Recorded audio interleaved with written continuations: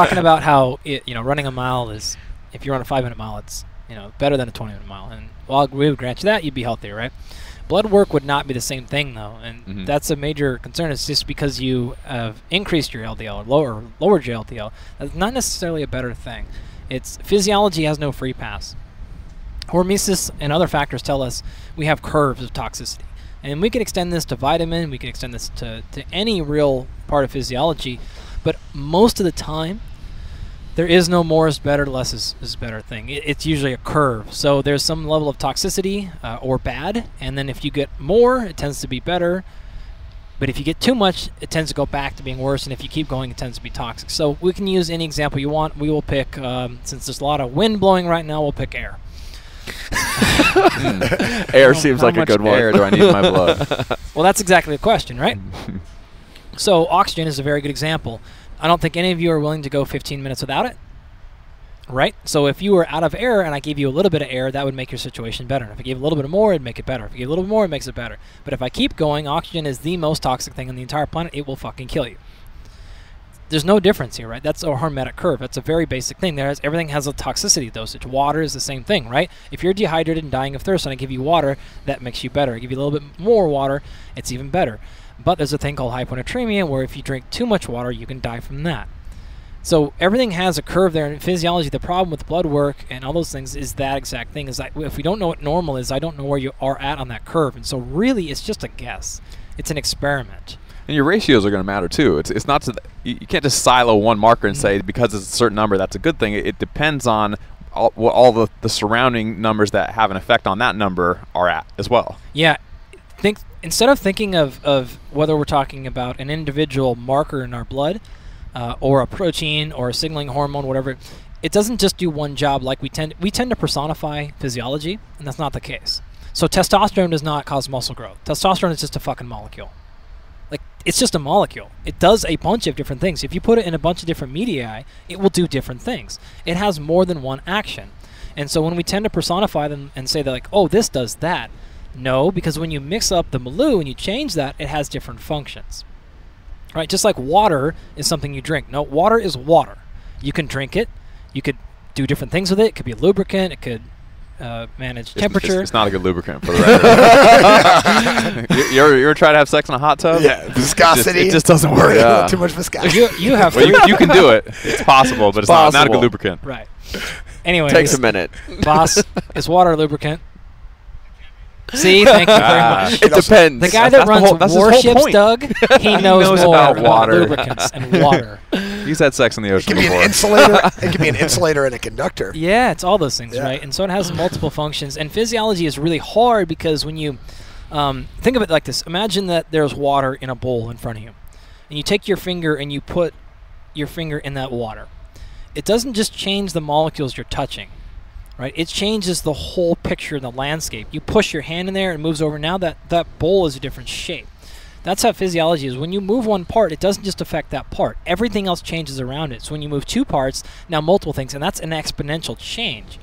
So just like you said, we have cross reactivity between everything: hormones, uh, protein, signaling. All that is cross reactivity. This is why when you have multiple vitamins, there's an, an interactive or a blocking effect. So some vitamins block other vitamins. They enhance absorption of other minerals. Right. Another. This is why we can't just live on taking exogenous hormones and minerals and not think we're paying any consequence. Uh, everything matters. So everything is everything like that. It, it's, it's, it is extremely complicated. If you look and Google a map of say signaling activity, you can see like a dumbed down version. We're like, okay, AKT signals mTOR, which signals muscle growth. Kind of. If you look at the actual picture, there's 10,000 different signaling molecules that are responsible for that whole train. You just got the dumbing down two-step version. Uh, and then when you move one, and you don't realize, okay, actually AKT signals 85 other proteins that do growth, and it signals 30 that do muscle breakdown, and it does 80 that do nothing else related, and it signals 7,000 do nothing related to that at all. You realize like it's not a simple picture as that. So now that you're all just Yeah, we're- we're- Holy We're, shit! we're all over here like, you just said a bunch of things. that as well as Um, you're like, well, fuck now. so actually, th- th- there's something Cool. that I've been meaning to ask you uh, off the show, but I was asking you on the show. You, you posted on social media a while back, uh, and I, I know you've mentioned this potentially on the show before about like where where does your fat go when you burn it? Like, w- Oh. does it just vanish into thin air? Like, what, what what happens to it? And you post an article that kind of that sums it up. Um, but I hadn't actually read the article. What, what is it? What did the article that you posted on social say? And is, is it different than what you normally are talking about? So I would actually recommend people go read it. It's on CNN. You can see it on my Instagram or any other place you want if you Google around. And what I liked about the article is they're the first person or the first place I've seen where they actually put numbers behind this, Mm. and it tends to make it very tangible. Uh, most people, this is basic exercise physiology. You remember being taught this. Um, I remember sitting in the X-Phys class, so this is nothing new and organic to me. But uh, when you start walking through the ways that you expel waste, people, oftentimes people don't realize that fat is lost through air. You breathe out your fat, right? So the, the quick answer is you breathe in O2, right? It goes in, you breathe out CO2. The difference is carbon. Well, what we don't realize is carbohydrate is a chain of carbon, and fat are chains of carbon. And so when you exhale waste, the end product, Eddie maybe have covered this in, when Eddie Joe was on, but the end hmm. product of all metabolism, whether it's carbohydrate, fat, protein, is three things it's water, ATP, which is the thing you use for cellular energy, and carbon dioxide. So at the end of the day, it's all coming out as those three things. And if you're fully metabolized, that's it. That's your only answer. So when you breathe out fat or when you breathe out carbon carbohydrate, it doesn't really matter. It all comes out as CO2. Right? Well, carbon has a as a weight. So if I breathe out more carbon than I breathe in, I lose that amount of physical weight. When I do that a lot, I literally start to weigh less on this planet Mm. the cool part about the article is they broke down numbers. So they said, okay, the average person breathes this many times throughout the day. They breathe in this much air. It has this much carbon in it. It weighs this physical, this this actual amount, and it walks you through. This is how much you breathe at night. So this is how many pounds you lose at night, or, or uh, you know, and people know this. Fighters know this. This is the drift, right? You go to bed at night. You wake up in the morning. You you weigh a kilo or half a kilo, depending Yeah. on the person, sort of left. This is why, because you're breathing out CO2 the entire time. This is how many breaths you take, and so it walks you through all these numbers. It's a really interesting article. Uh, I have a hour or more lecture on my 55 minute physiology series on fat loss, where it walks you through this whole thing. I actually people like th- the part where I walk you through the circle of life, and I explain to you how it goes in the atmosphere, what trees do, because we all know you know plants do the opposite, right? Plants breathe in CO2 and breathe out O2. They keep the carbon, and so they get bigger. And then what do we do to get the carbon? We eat the plant, right? And and that's like what people don't understand is The, um, the in- middleman. yeah, it's, it's just a circle of life, right? Yeah. And I, I walk you through it, and you're like, oh shit, it makes so much sense. And this is why you can do anything to lose weight, as long as you are ingesting less carbon than you're exhaling. Is that kind of where they base the science off of, like with the Buteyko method, uh, like breathing and talking about how they, people talk about, oh, that's great for fat loss. I don't know what I- that I- is. Uh, it's uh, like control pause. Control pause. It's another form of like breathing, the Buteyko method, Hmm. uh, where they would do like these control pause breathing. Uh, you know, I mean, with all the breathing that's out now between WIM and you know two stage and all this other type of stuff, holotropic breathing. They talked about how uh, in you know breathing in, hold, exhale for X period of time, and this was like a great way to increase fat loss.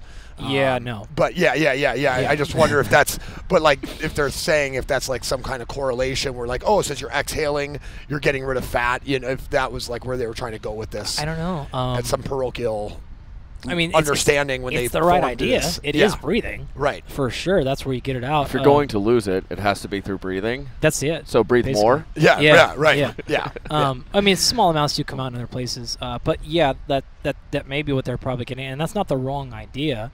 Um, but the problem is if when you're holding, you're not exhaling, so it doesn't really matter. It's going to equate in the back end. Uh, what you have to do is put yourself in a situation where you're not consuming as much carbon, which means you're not eating as much, or you put yourself in a situation where you're hyperventilating, right? And what happens if you hyperventilate?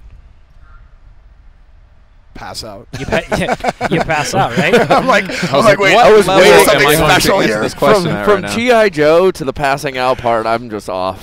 So, can you think of a situation though get in right. which you are hyperventilating and you're not passing out Uh, yeah. when Wim you're Hof, like exercising? working out. Yeah. yeah. and this is th- this is yeah, why, sure, right? yeah. Like this is why you exercise to lose weight is because you put yourself in a situation that where you're hyperventilating. Yeah. So, I always get this question, and like, so if I just sit around and hyperventilate, like, will I lose fat? Absolutely, you will. But your, your how, heart rate's gonna go up. how like, long? Yeah, like you've just basically yeah. caused your, you've just You have a really sore neck. Right. Something will happen. Yeah. Turns out it's just not very effective. It- it's a very bad way to get yourself to breathe more often. Just exercise, you'll breathe more often that way. Yeah. So in your